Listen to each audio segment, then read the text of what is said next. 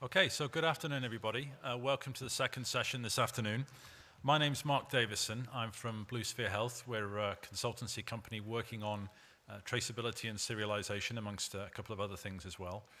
And this afternoon, for this next hour or so, we're going to look at serialization, uh, which has become a little bit of a buzzword in the industry uh, the last couple of years or so. And I, I, suppose just by show of hands initially, is there anybody in the room who has absolutely no idea what I just said? Uh, for whom serialization is a complete blank page. Um, so in that case, we're going to dive straight in at the deep end, as deep as we can. No, we won't. Um, so my background is in the pharma space uh, initially, and I've also worked for service providers uh, selling back into the pharma space. So hopefully I can give you a, a perspective on some of these solutions as well as some of the questions in this space. And three things I'd encourage you for this session. Uh, the first one is to think of this as executive education, not a conference.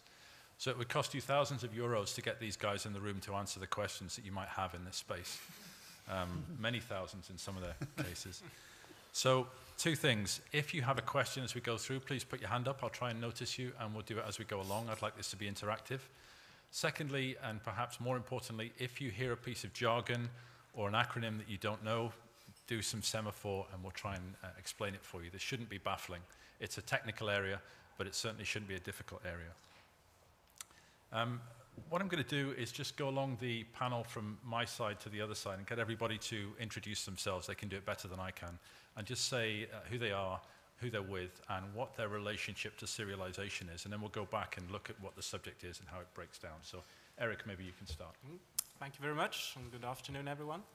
Uh, I'm Eric Haeffler, um, Vice President of Manufacturing Services within Recipharm, a CDMO company. And it was mentioned earlier today that the ideal size of a CDMO might be around the range of 500 million of sales. And actually, that's exactly where Recipharm is. So we're the ideal CDMO company. Mm. Uh, in terms of serialization, uh, we are struggling with a lot of complexity in this area as a CDMO, we have many different sites and many different customers. So the scope for us is 16 sites across Europe and more than 100 customers. And the perspectives from the customers uh, vary all the way from you have to do as we tell you to do, to the other extreme, which is we do not really care what you do, just fix the problem. And that's uh, one of the key challenges that we face as a CDMO. Previous to being with Recipharm, I was with Meda, a Swedish specialty pharma company that just got acquired by Mylan. And then I was on the other side of the table because Meda has a large range of CMOs working for them. So there we were discussing an implementation program with more than 70 different CMOs to carry out serialization. So also seeing the complexity from that side and realizing quite quickly that uh, it's not easy as, uh, as a customer to CMOs to, to get exactly what you want. Okay, Paul. Good afternoon, everybody. My name is Paul Cruz. I work for Shire Pharmaceuticals. Um, I've been in the pharmaceutical industry now for just over 40 years and I've been hearing about serialization for most of that time. I was at Wyeth Pharmaceuticals when the Italians came up with their ideas for serialization and for track and trace and aggregation, and we ended up with the infamous Bollino label. So we've seen many in uh, implementations or attempts to implement serialization and track and trace in different guises across the globe. Within Shire, my role is um, head of external packaging. Shire, uh, now due to our recent uh, merger, quite a, a sizable rare disease company. We've got 25 CMOs and seven internal packaging sites, and we have to apply to serialization now to almost 3,500 SKUs. So it'll be quite a challenge for us. We're dealing with CMOs such as Recipharm and, and Eric's team, and working proactively with them to develop serialization solutions and effective serialization solutions. Thank you. Neil. Uh, Neil Lawrence from GlaxoSmithKline. Um, I work on a dedicated unit that's looking at the global platform of serialization. Um, within global manufacturing supply at GSK. Uh, my role on the team is I'm the external facing element, so I deal with the regulators, um, the governments, legislators, trade associations, so on and so forth. So my role is to bring in the, the how and the what um, to then the people who do the do, essentially, for the engineering perspective. Um, I've been with them for just over four years. Um, previously, before that, I also used to work on the other side as well. I did six years at the Department of Health, um, rolling out patient safety um, solutions using coding. So I've kind of been alive and that barcode man now for the best part of a decade. So perhaps it's time to change role again. Um, the, the one thing that I would say as kind of an opening comment is um, to just reinforce what Mark said. If you have questions, this is the time to ask them. Um, it's, it's rare to get four, should we use the word expert? It's, it's rare to get four experts um, together that you can ask questions on something as specific and niche as serialization. So I would advise you to ask. you. So, good, a- good afternoon. Uh, my name is Martin Fitzgerald. I'm here representing the European Healthcare Distribution Association. Maybe that needs a little bit of explanation. Uh, essentially, uh, my organization is European association bringing together the national associations of pharmaceutical full line wholesalers uh, from across Europe. Uh, we typically are purchasing pharmaceutical products from the pharmaceutical industry, keeping them in stock, and supplying uh, them to all retail pharmacies across Europe, in some cases to uh, healthcare institutions such as hospitals. Um, personally, I'm the Deputy Director General of the association. Um, we have an, a role to play in serialization, not in terms of actually placing anything on the pack or loading anything into what we're probably going to discuss a little bit later, the European Hub and National Repository Systems. But we do have a critical role in uh, checking out some of the information or checking out the serial number uh, before it's handed over to patients in some cases where the patient is not obtaining the product either in a pharmacy or in another healthcare institution. Um, so we've been heavily involved in the establishment with our uh, stakeholder friends at the industry side and at the pharmacy side in building up a European medicines verification system, and now we're very much engaged at national level in trying to roll out those systems uh, into all EU member states ahead of the 2019 uh, deadline. So uh, I guess we're going to talk a little bit more about all of that later. Okay, great. Thank you. Um, let's just take a step back initially and just think about what serialization actually is. It's very simple. It's putting a unique identifier on every box that we make, which sounds like something we might have been doing for years now. Um, in fact, the resolution of today's supply chain in the pharmaceutical industry is the batch. So thousands of different items are functionally the same at the moment. After serialization, the instance will be the resolution unit. So every box will be uniquely identifiable in the supply chain. So that huge step change is both a challenge and an opportunity. And I sometimes think of it a bit like the Hubble telescope, that it's expensive and controversial during the planning phase. It will bring a step change in resolution. It probably won't work as expected first time round, but I think retrospectively we might see it as a revolutionary uh, time in our industry. And you know, let's hope so anyway. Maybe if we can just take a Eurocentric view for the moment and think about the Falsified Medicines Directive, which is one of the drivers for serialization in our part of the world. Maybe, Martin, if I can start with you, can you give us a quick outline of what the Falsified Medicines says, uh, Directive says in relation to serialization and maybe the, the headlines of what needs to be done to comply as a manufacturer? Well, yes, I mean, it all goes back to 2011 when the European institutions uh, published uh, what we call the Falsified Medicines Directive, and that has put in place this whole train of what we've been really working on over the last number of years and co- contributing to the number of grey hairs on our head. But essentially, the directive, which is the, the big piece of legislation, instructed the European Commission uh, to set out a lot of technical, the technical characteristics for the so-called safety features, which includes the unique identifier, which must, of course, be placed on the outer packaging of all prescription products uh, in, in the European Union. Uh, it also set out the modalities for verification of those. So the responsibility lies at the, first at the manufacturer to label the product, to load that information into what we call a European hub. That's something which is being developed at the, Euro- at the European level. And that information would then be routed down or transmitted to the national uh, systems or national repository systems. And it's against those national systems which uh, pharmacies and wholesalers will be able to interact for the purposes of verification to check the authenticity of the product and to check out the information once it's been dispensed to the product so that we're sure that no second product bearing the same information uh, will appear in, this, in the supply chain. Of course, it's all targeted at patient safety. And so this is what we will uh, see developing across the countries. It's mandated by law, by the Falsified Medicines Directive. The details have been set out in the delegated regulation.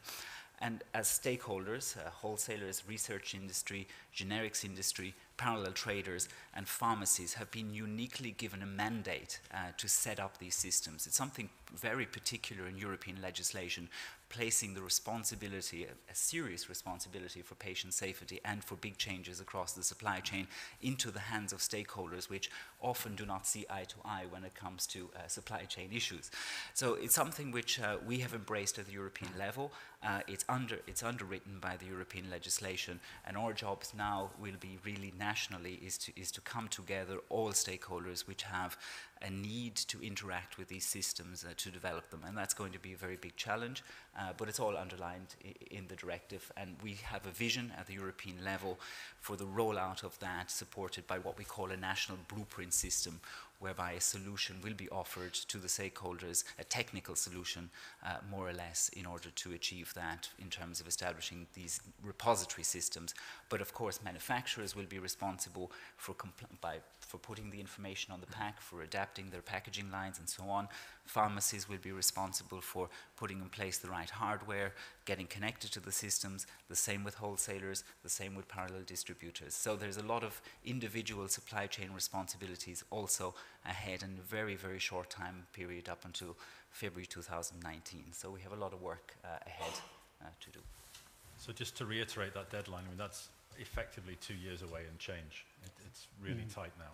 So anybody in the room with a manufacturing hat on who isn't started, then um, see one of us after the lesson. Um, Neil, maybe we can just expand from Europe into the other big market segments of the world, which is the United States, and, and maybe just draw some parallels with the Drug Supply Chain Security Act and what's driving activity for manufacturers who need to sell product over there.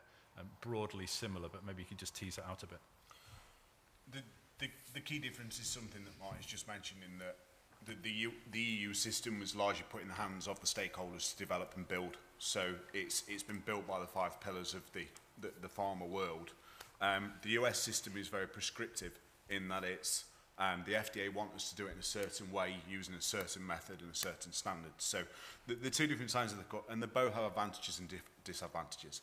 Um, you would argue in EU that it's too much on us, and in the US you would say we don't have enough say in the outcome. So it's, it's you know, it goes around. Um, the, the key point of this is that it is on patient safety. It is on the ability to ensure that the product that we make at the start of the supply chain is the product that the patient receives at the end of the supply chain. And it's the model in between. However, there are three different versions of serialization that I'm not going to bore you with, but suffice to say they get more complex and more expensive, to say the least, and longer to implement. Europe's slap bang in the middle, where you'd expect Europe to be. Uh, the US is on the more expensive and more complex end, as you'd probably expect, in that it's, it's full track and traceability with aggregation of goods. So every packaging level has to be aggregated to the packaging levels below it.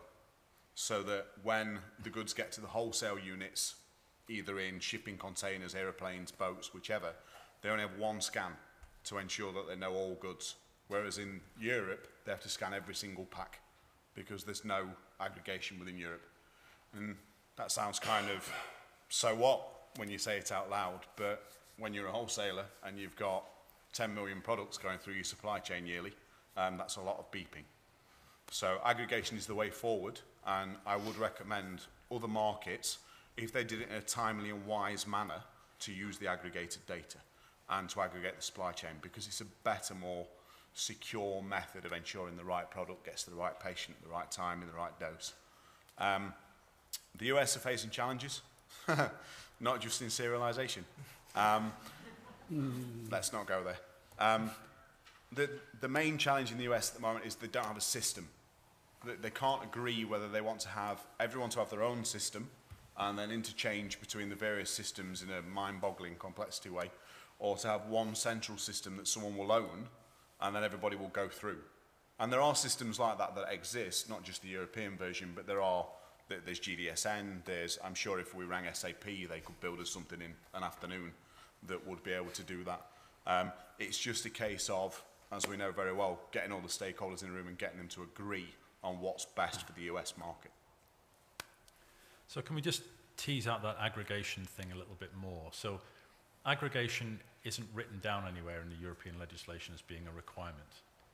But functionally, for manufacturers to get the most out of their supply chains and for downstream people to have an easier life, are we saying collectively that aggregation is almost de facto required, or are we saying it's optional still? Um, maybe Paul, you can take that too. I would say rather than optional, prefer, preferred. While it doesn't delegate in the legislation that we should implement aggregation, it is mentioned quite often throughout the uh, directive itself. In fact, aggregation gets more mentioned in the final published directive than the other safety feature, which we forget about sometimes, which is tamper evidence. Right. So, by virtue of the fact that it gets mentioned more often, while not um, being delegated to us to implement it, it the best way I've heard it described recently, it implicitly infers that it's the right thing to do without clearly delegating to you that it's the correct thing to do. And given that the system has been turned over, as um, the guys have alluded to, to the five pillars to set up at national level, if you asked those involved in the downstream, such as, as Martin's Group, etc., is aggregation important to you? I'm sure he would say yes, because it makes the whole area of warehouse management and material management much more effective.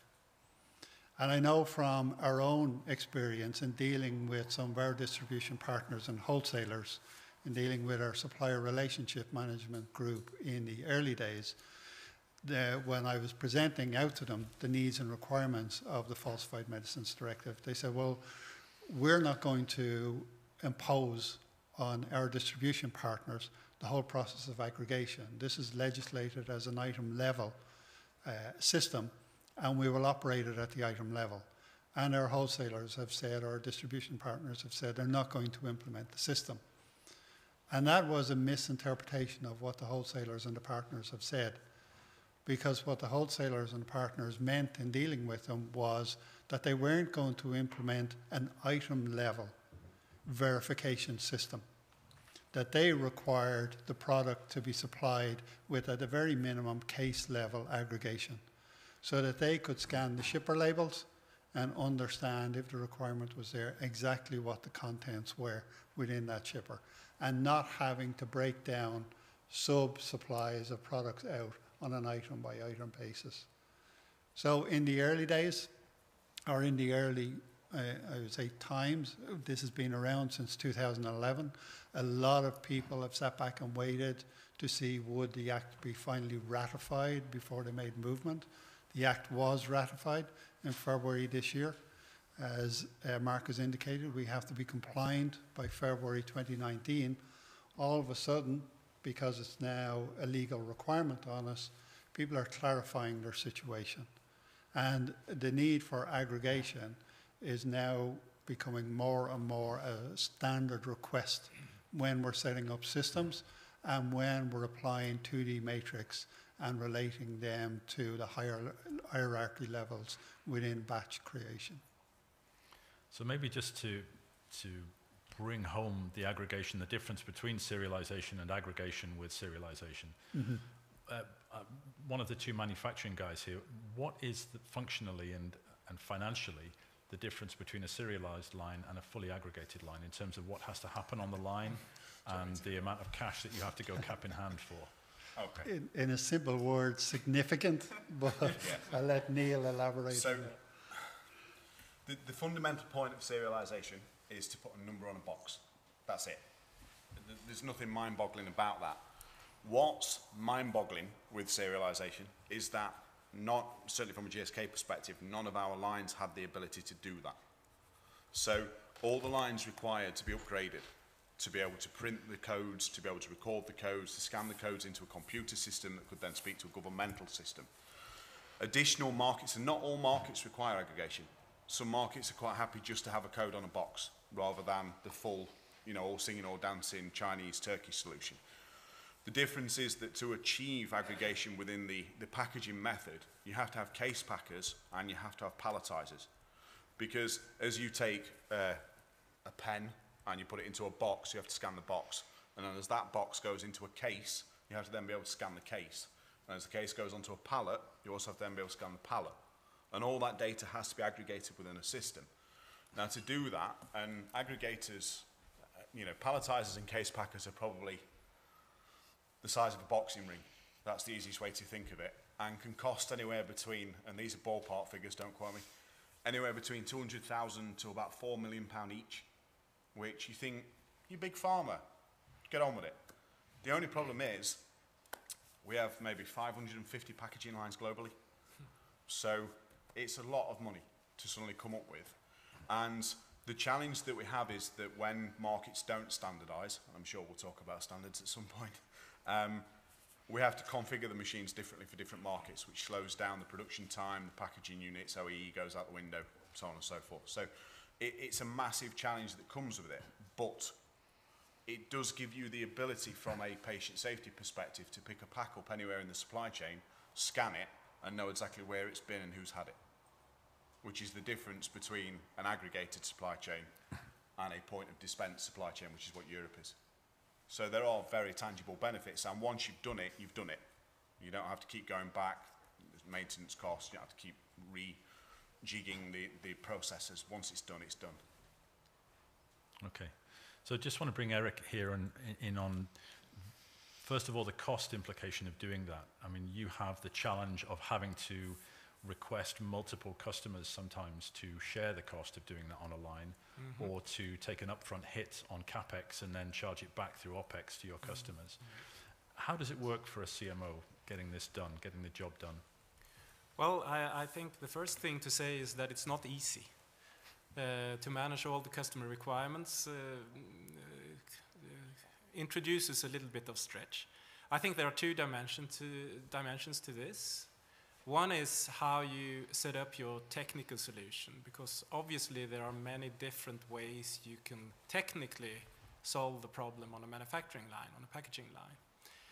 But uh, the more flexibility you build into your packaging organization, the more complexity you will have as well, and that would also eventually drive cost.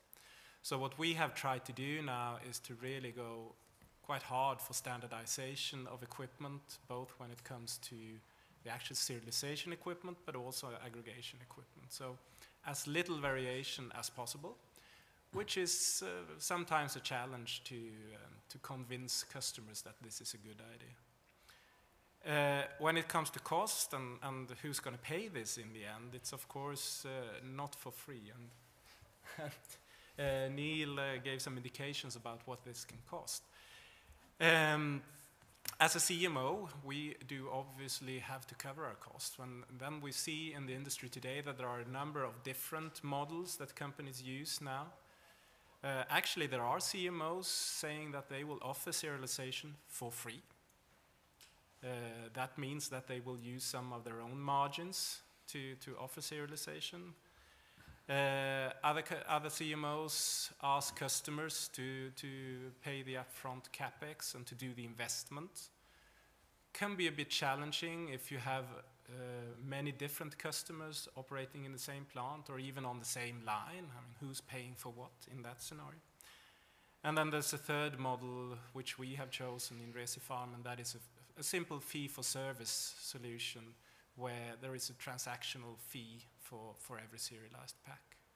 But I, I, think it will probably still take some time before we can clearly see what CMOs will choose as the standard model for, for, for charging the costs here. Yeah. Um, and I think we've, we've touched on an interesting issue around standardization and trying to predict the future as well in all of this.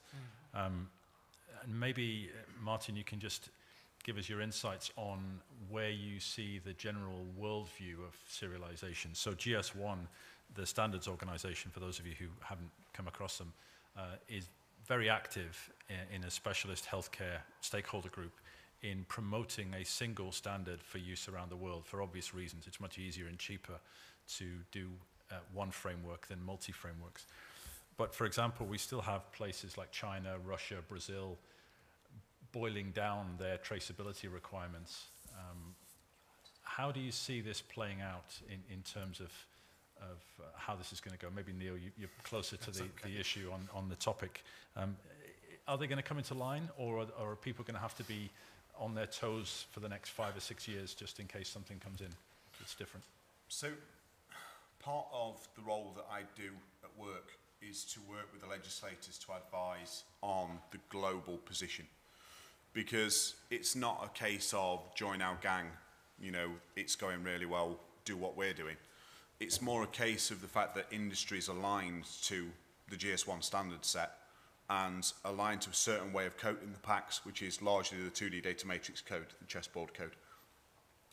Excuse me. So when a market comes out and says, actually, we want to use QR codes, there, there's a strong, let's use the word strong, there's a strong response from industry to say, actually, if you just did it this way, it'd be far simpler. And it opens up your access to market because you can share packs with other markets far easier if you've got the same coding standard.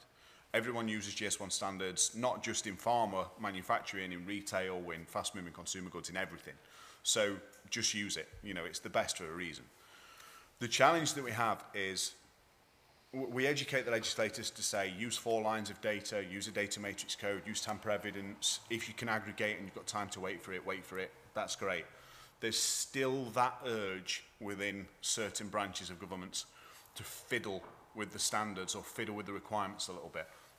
It's interesting you mentioned Brazil. Brazil said from the outset that they were going to use GS1 standards and everyone celebrated that and said, that's brilliant, you know, we can do that quite easily. We won't talk about the rest of the Brazil requirements.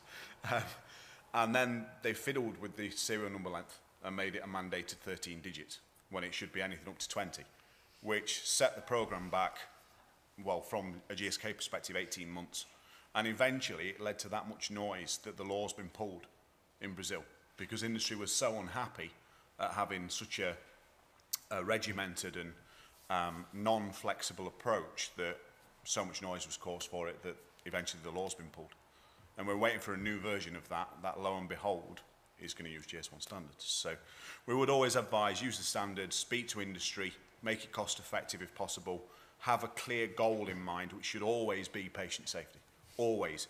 If it's anti-counterfeiting, if it's anti-stock redirection, if it's even just the movement of goods, brilliant.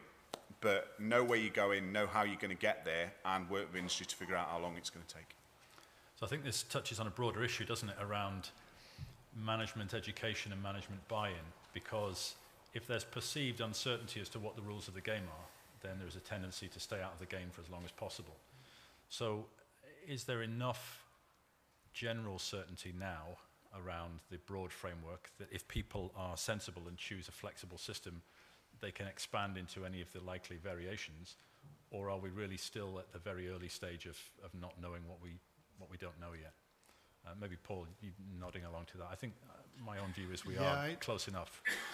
I think there, there's two aspects to, to that. There's the standardization, as, as Neil has alluded to, on GS1 standards, which obviously uh, simplifies the whole process from an application point of view for applying 2D matrix codes on your human readable uh, text, for reading them at a pharmacy level, for access to markets, etc. Uh, we still do have have markets who aren't quite on, on standard and configurations where it's not quite on standard.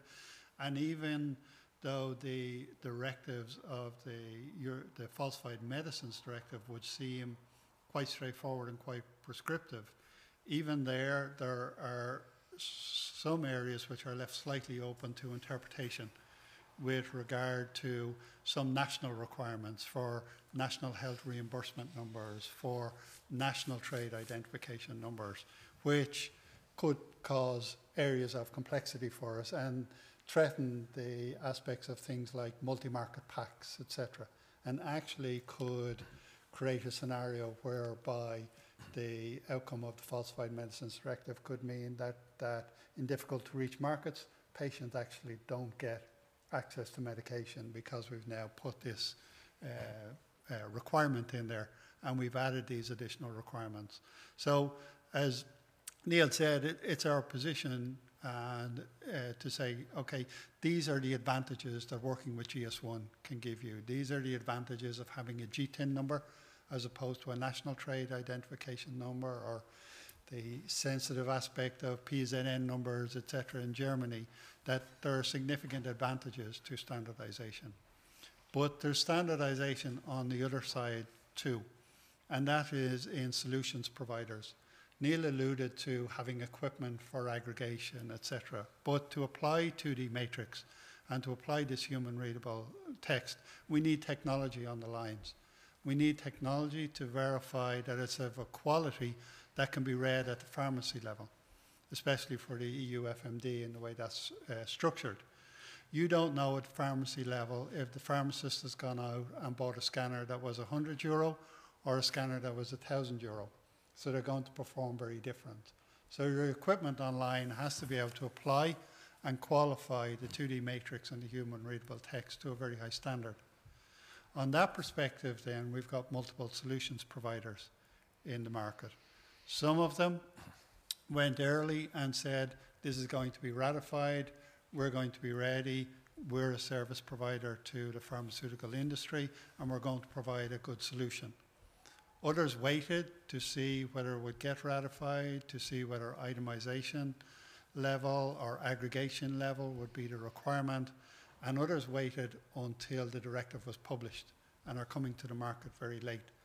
So we, as, as uh, pharmaceutical companies implementing, were then stuck with the old system of where suppliers into us see us as a cash cow.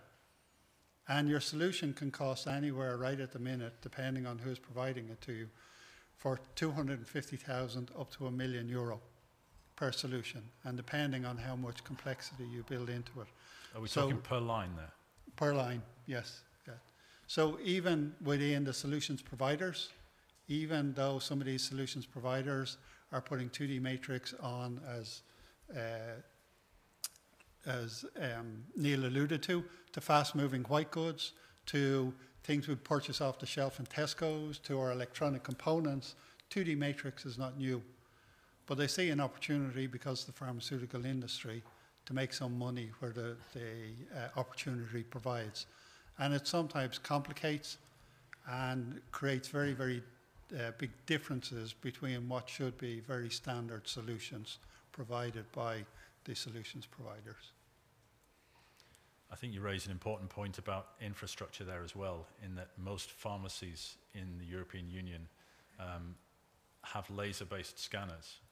I yes. went into Boots 100 yards away at lunchtime, and they had a, a bleep-type laser scanner, not a camera scanner that's needed for a data matrix. Mm -hmm. So I think there's huge issues in terms of implementation. Broadband availability is another one yep. for these systems. You know, there, there yep. are real basic infrastructure issues. Mm -hmm. Um, it's kind of outside the scope of this discussion at the pharmacy level, so we'll park that one. But I wanted to come on to the distribution chain and the downstream of the manufacturers, uh, Martin, if I may, and, and just uh, in terms of the letter of the Falsified Medicines Directive, you guys have got it pretty easy, right? So the manufacturers put the code on, the pharmacist checks the code, and you just whistle the stuff down in the middle. Have I understood that correctly? I'm, I'm joking, but of, of course, the, the, there is no obligation for 100% verification of codes during distribution, but there are some quite thorny exceptions to that. Maybe you can just discuss what an at-risk verification is and what that sort of uh, area is going to cause. Yeah, sure. I, I, think my members would not be happy if they heard me saying that we'd got away extremely lightly, but, but certainly it's, it's better than it could have been and I think it goes back a little bit to the discussion about aggregation. In, uh, before the adoption of the Falsified Medicines Directive, the European Commission, they're obligated to run an impact assessment to see how much these things, their legislative measures, will cost. And when we were replying to that consultation, the, one of the options was more or less how much a systematic verification at the level of the wholesaler would cost. In other words, how much would a track and trace solution cost for the wholesale distribution industry. And when we did our calculations, we calculated that it would be a hundredfold uh, more expensive to do a full track and trace solution at the level of the wholesaler than having a, a, point of dispense system whereby we would adopt a risk-based approach uh, level to uh, risk-based approach to verification of products. So what we have to do or will have to do is when we, when we receive the products directly from the pharmaceutical industry, either directly from the manufacturer or their authorized uh, wholesaler, what we call a pre-wholesaler, we will not carry out any verification of those products. We assume and assume probably rightly that they're the genuine products. So we believe that there's almost a zero risk of an infiltration of a counterfeit when we receive the products directly from the pharmaceutical industry. However, where we receive products from other wholesale distributors, for instance, we see that there is an increased risk. And there the legislation mandates us to do a systematic check, pack by pack, of the products we would receive from sources other than the pharmaceutical industry. Also, where we would receive returns. Uh, it is an area, a high risk area. There have been cases of, of, falsified medicines entering into the supply chain through returns. Again, wholesalers will, will do a systematic check of each pack of those returns. And that risk based approach is mandated by law. It's not up to the discretion of the individual wholesaler according to our calculations, we would see about 5% of all prescription packs being checked on a systematic basis uh, when we add goods income, uh, incoming side uh, and return. So that leaves about 95% of the products where we will not need to check. And for that reason, if we go back to the discussion aggregation, we do not or have not really called uh, from our industry partners or pushed for aggregation because 95% of the products would not have to be checked pack by pack in every case. And that's something we have welcomed. And I think that's, if we want to consider getting away light from the legislation, that is how we would see it.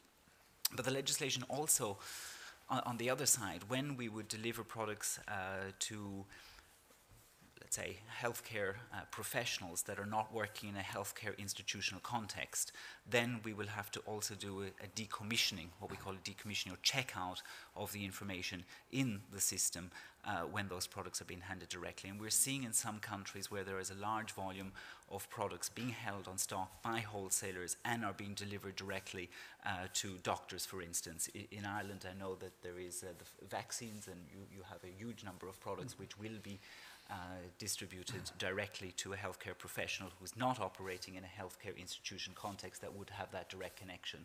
And that's something which the national authorities can place onto the shoulders of, of the distributor. And there we are quite worried in terms of how the national authorities will interpret the language around that possibility uh, in the delegated regulation. So we may have some, some, some big effort to do in that respect.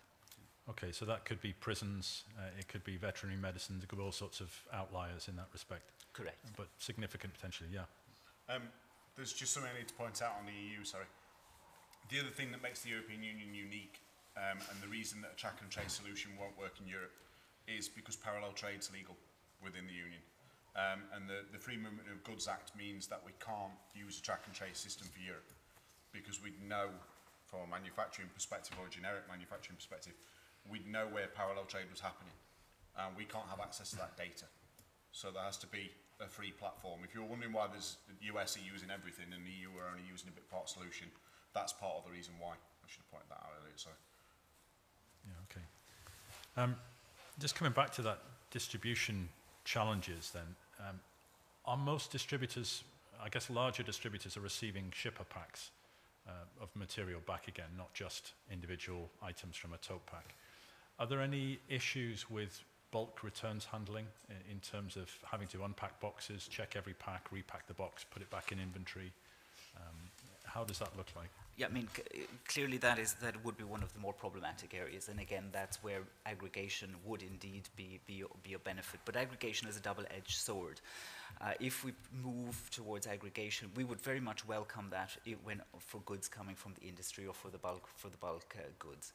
But if we as distributors were required to do aggregation for our supplies to pharmacies, then we're into a totally different uh, area, and that's something where I think the benefit of aggregation for the good for the good incoming goods it, it's far outweighing the need uh, for, or the obligation that we would have to do aggregation to pharmacy level. So uh, it, it's something we have stayed away from uh, for the moment in terms of calling from aggregation from, from, from the industry side. I know that some of our larger distributors, they do, they would like to have that, but of course it could then be the case where the legislature turns around and says, well, if you're, if you're doing aggregation, if the industry is doing aggregation for the distributor, then why does the distributor not do that for the pharmacy? And we will have batch level recording uh, of information going from distribution, uh, distrib from distributor to pharmacy, uh, but we believe that the cost would be quite prohibitive for us to do aggregation to, to, to our pharmacy customers. Okay, great. Um, just as a bit of light relief, I guess we'll quickly cover the Brexit question. Um, I did have one uh, customer say to me, well, after Brexit, we don't need to worry about all this EU nonsense. Um, uh, which of you wants to squash that assumption flat? Go on, Neil, you're best at these Um, sort of things. Th- this is my perspective, not GSK's perspective. Um, I'm thinking how to word it without sounding belligerent. Um, we will still have the, the same trade agreements, licensing and movement of goods that we have now. We will just have less say over how they're run. Is that fair? I Yeah. think that's that's the point. Um, we, we will act like so within within the EU platform.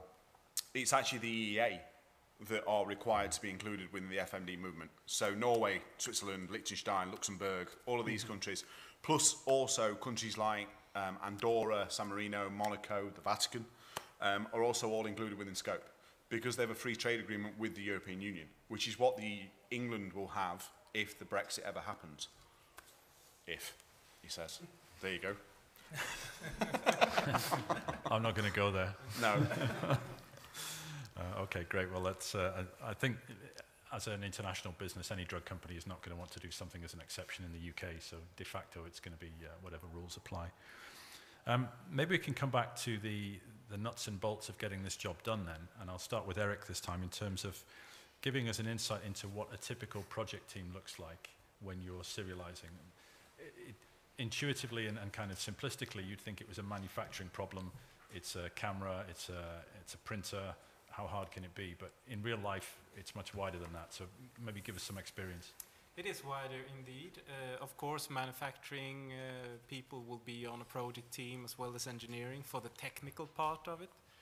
But uh, there are a lot of, of uh, processes also within the quality area that would need to be up, upgraded to, to meet the new requirements. So also QA is an essential part of the organization, as well as ISIT, of course. So in order to ensure that we can embed whatever system solution we have for serialization and potentially aggregation, that it can be built into um, our ISIT environment.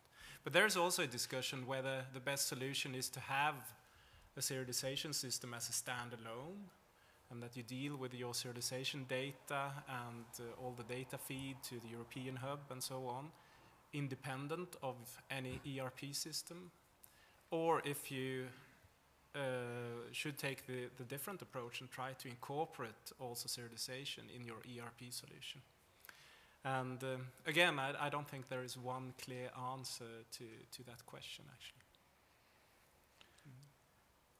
What about the, the big pharma manufacturing environment? Is, uh, ERP is, uh, is often a, a three-letter swear word in, in these situations, but uh, Uh, is there a, a management strong view either way, or is it something that may evolve over time, but it's not something you're going to do from the start? I think, again, there's no, it, it's one of those situations where there's no one size fits all. I think SAP were one of those providers who came to the, the table very late in the day with an, an SAP ERP solution that could handle serialization data management. So some of the other solutions providers are far more advanced uh, in that field and can handle data management. But the, as Neil has said a couple of times, there's a uniqueness associated with the European Falsified Medicines Directive. We're, uh, all companies now are serializing, serializing for South Korea, Turkey, etc., for example. These are all sequentially generated serial numbers.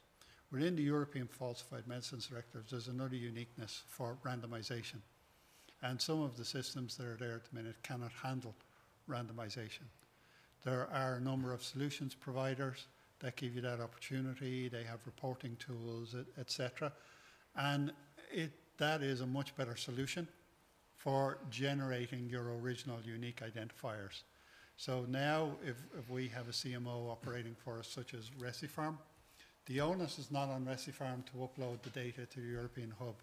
The onus is on Shire as the MA holder to upload the data. So we need to decide how we supply Recipharm the data.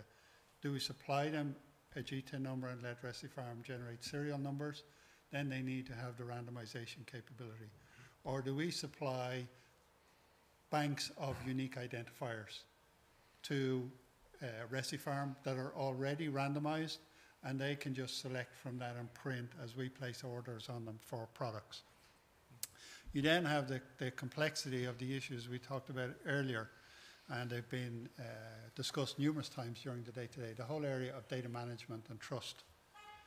There's a, a seismic shift with regard to the pharmaceutical industry here now in engaging with the European hub setup and the EMVO because we've got to trust them in how they manage our data. We have very specific requirements on how to set up our master data in the hub. So we're transferring a significant level of product knowledge into a virtual database that we now have to trust a third party to manage for us and to guarantee the integrity of that. So we have the same issues with trusting of, of data and data generated that we're hearing that patients have with the pharmaceutical industry and their data. So that concern is, is throughout the industry and it's, it's throughout the uh, whole process with regard to serialization, where the data goes, how they match up the serial numbers to your particular product, how they manage and hold on to your master data with regard to that product, and the safety and security of all that. Because no matter how many times we engage with EMVO or EFPIA, and the uh, national associations engage with it, and each one has maybe a different requirement of what they want to do with the data. The one message is that when the MA holder transfers the data to the EU hub, it's no longer their data. Right? It belongs in the supply chain, and it will be used to verify the pack at the point of dispense. Yeah, interesting point, and I'm glad you brought up master data. Um, I'm going to take your question first, and then if it covers, uh, if it doesn't cover what I'm going to say, then I'll, I'll say my point.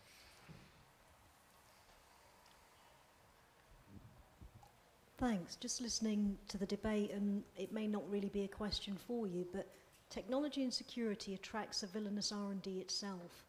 So when we think about serialization, do you think we're going to be facing hackers and the rest of it, and how would we stay ahead with all of that? Good question. I think from um, our perspective, with just like with the setup of the national hubs, the European hub has been set up by what we call the EMVO, the European Medicines Verification uh, Organization. They've gone through a very prescriptive process in selecting the solutions provider for the European hub, which will manage the data.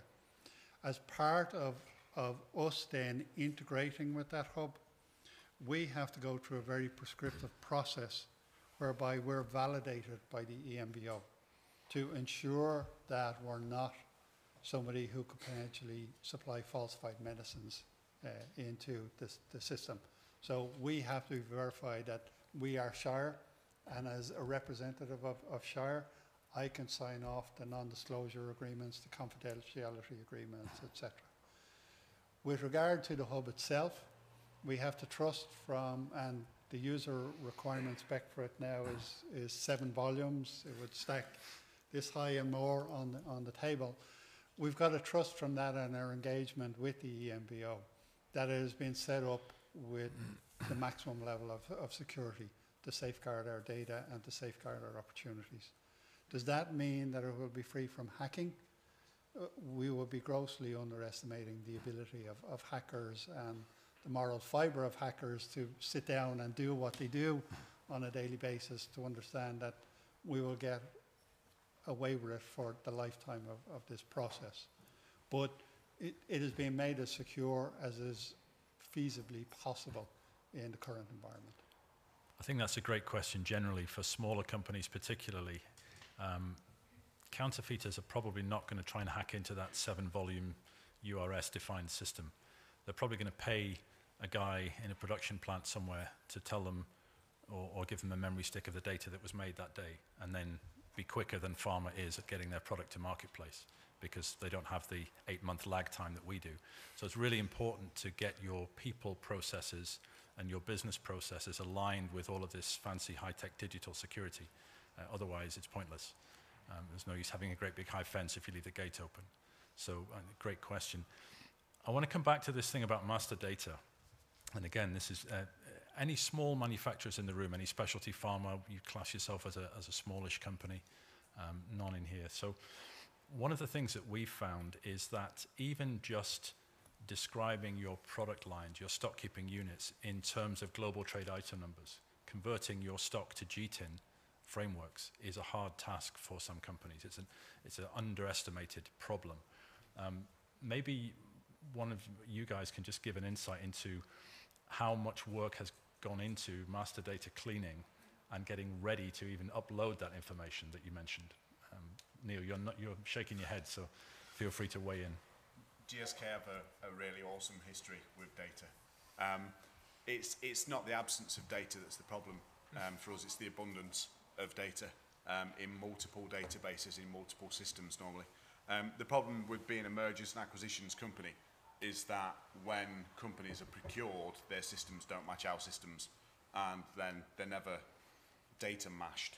So the EU seems to be the running theme. So just on that, we've got countries that don't even have barcodes at the moment. So they're currently identified within our systems by an EAN number. EAN was the forerunner to what's now GS1, um, the European Article Association.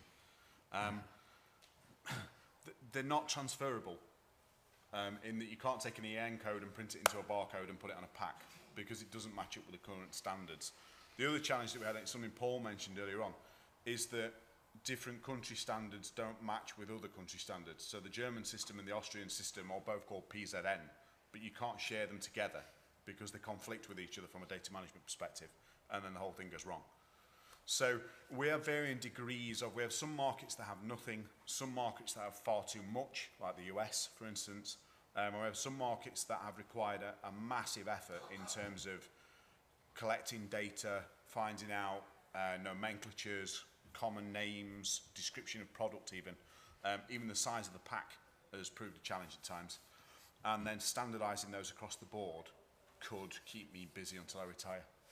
Um, so at the moment we're focusing purely on what's first and then working down the queue as we go from there. I would love to pay a thousand people to come in and fix it, but it's, it's just not likely to happen, sadly. So it's, it's a massive challenge.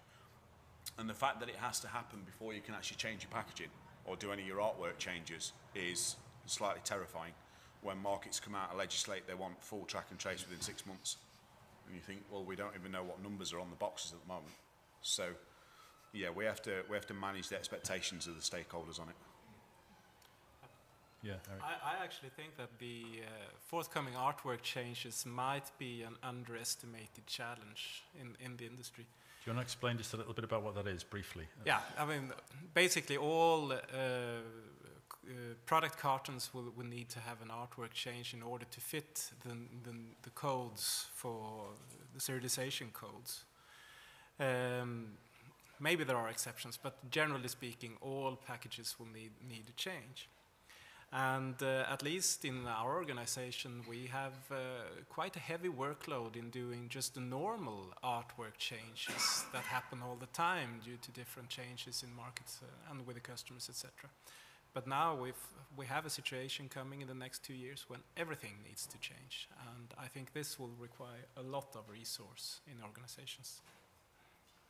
And just to echo Eric's point, where um, we've been looking at phasing the uh, artwork changes.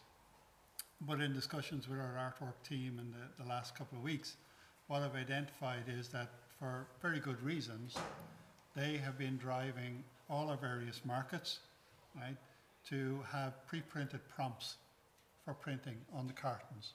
So we've pre-printed lot and expiry and whatever configurations are required by whatever market and whatever language. But that prevents you, if that's your process, from a phased implementation. Because all of a sudden now, do I need to have pre-printed prompts for GTIN number, for serial number, as well as lot and expiry? And how can I put them on the carton if I'm not applying a 2D matrix and the unique identifier? So we've created challenges within our own environment that could help us to phase in the, this process. And we may be looking at, for a huge number of markets, a big bang implementation, which is much, much uh, more difficult to manage in that environment. I just, in the last three or four minutes, want to move on to potential new business models and benefits of this cost that we're all incurring. Um, and we read the literature, and there's all sorts of things from bedside safety of patients because the drug is uniquely identifiable.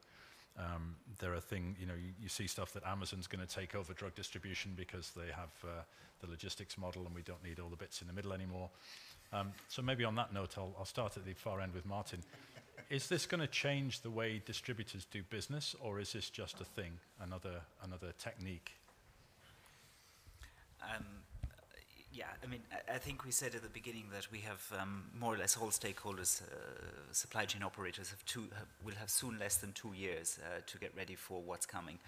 And from our perspective, we see that there is a need really to focus on the objective of the legislation. There are some very strict and, and, and, and high level um, requirements coming in the legislation. We need to get ready for serialization. We need to have the systems in places. We need to be able to do that. That's, that's one thing, an issue of compliance. Otherwise, we'll have products on the market which should not be on the market.